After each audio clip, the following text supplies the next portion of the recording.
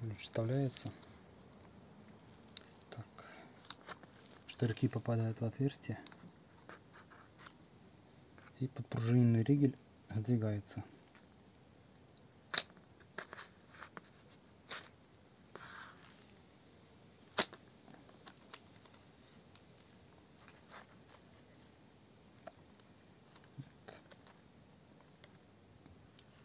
вытаскиваться.